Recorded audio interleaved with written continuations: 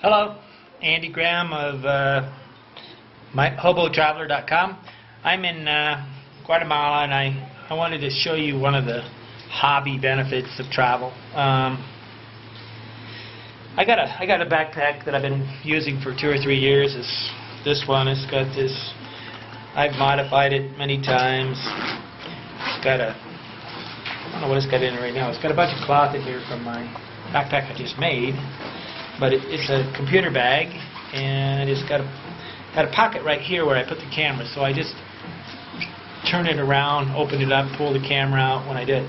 So the other day, just for kicks, I took the backpack and took this backpack and took it to a to a tailor-like guy. Like, eh, he's not a tailor. This guy sells stuff, and said make a copy.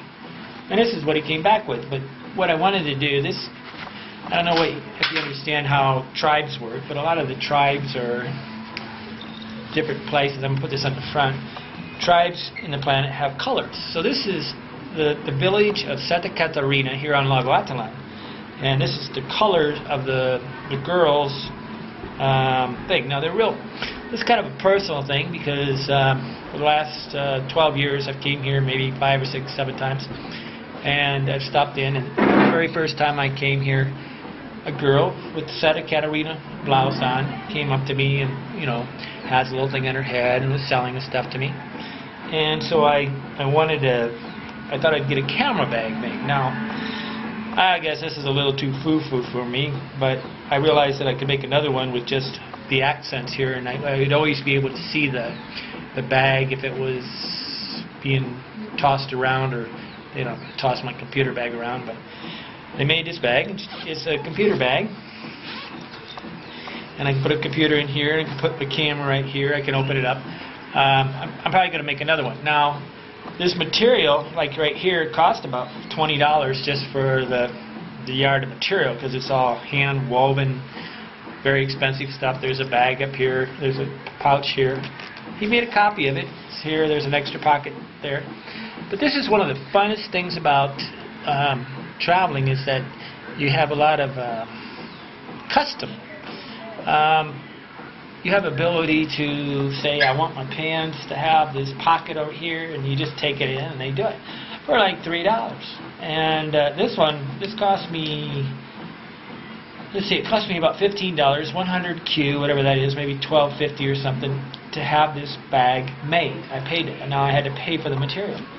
Now, my goal was to try to come up with a nice uh, backpack. Now, the zipper and Guatemala really has really bad clips and th this kind of stuff, the strap and all this stuff is really pretty chintzy quality, and it's really hard to do to get it to up to I don't know world class standards. I mean, you'd have to really go chase all around the planet to find these things. Now, I wanted to put these, really sell them in production. Now, to me, the things. Uh, probably as it sits is probably a real good backpack to give to buy my girlfriend in Africa. okay, she would look really good in this, but um, we'd have to reinforce it some more because everything's going to fall apart. But pretty cool bag. Now, this is hand woven, very expensive cloth. It's uh, I I seen this. Somebody paid twenty dollars a yard yesterday. Beat them to death. Get them down twenty dollars um, $20 a yard. Hand woven, but I mean it'd be $50 a yard in America. Now, does somebody appreciate that? I don't think so because they really don't understand that what Santa Catarina means to me. Now, Santa Catarina means to me is these cute little uh, Kachikel girls walking around trying to sell you stuff all day, and they're one of the reasons why I'm here because I I enjoy the kind of like little fun situation where the people are very polite but persistent, trying to sell you stuff. And some people they drive crazy after a while, but on the other side, to me, it's the reason to be here. It's because of the people. And forever, I'll remember Santa Catarina as a place that uh, makes me smile. So. Um, I one time took a boleo from Mexico because these little kids would come by every day and say, boleo, boleo. It's a little piece of bread, and I put it, dried it, sprayed it down with varnish and put it on my shelf in my in America's because I love these little things. Every morning I'd have them for breakfast. But this is one of the the little endearments of living abroad and uh, living in these places like this. Um, you can actually come up with a little dream and, and then go pursue it.